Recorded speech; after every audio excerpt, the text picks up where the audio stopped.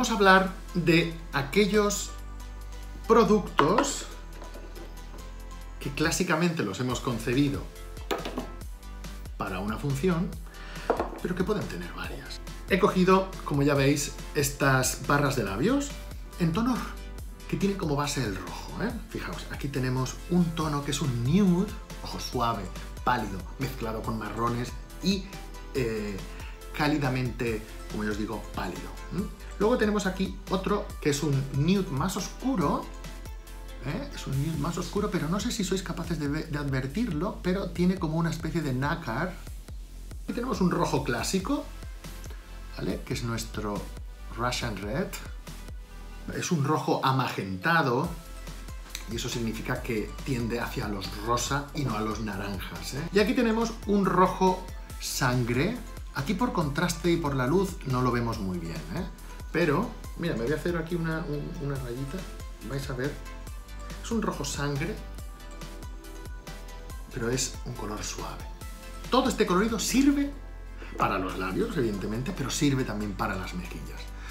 Hay fórmulas desde lo absolutamente fijo a lo liviano y frágil, ¿eh? y cada uno tiene unos beneficios estéticos. Cada uno va a exhortar de nuestra aplicación efectos eh, increíblemente distintos. Así que, por ejemplo, mejillas enrojecidas, ¿eh?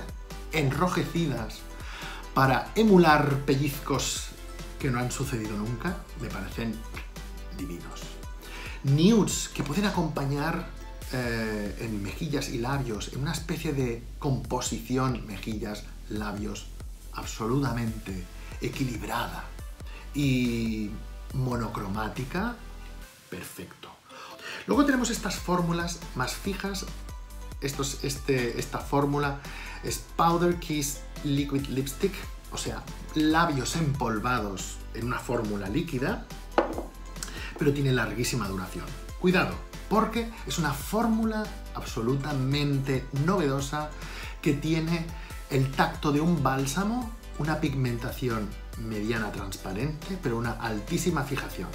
Si tenéis una barra de labios marrón, podéis perfectamente utilizarla como base para luego aplicaros vuestras sombras de ojos o simplemente para llevarlo. Un pequeño truco. Si os maquilláis, por ejemplo, vamos a hacerlo aquí. Os maquilláis, por ejemplo, con un eh, mirad, este color que es un tono vino. Y vamos a hacer un pequeño color de... Esto puede ser aplicado en mejillas, labios y ojos. Pero vamos a dejar que sean mejillas y ojos como un elemento novedoso, porque ya para los labios está diseñado. Eh, permita que veáis lo bonito que es. Pongo un poquito aquí. No sé si lo vemos, ¿vale? Lo difumino. Y ahora voy a aplicarle encima Hyper Real Glow, que son un trígono de tres iluminadores que tienen como base un nácar dorado.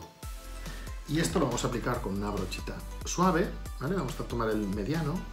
Fijaos, lo voy a poner encima. Mirad, no sé si somos capaces de verlo, pero qué maravilla, ¿lo veis?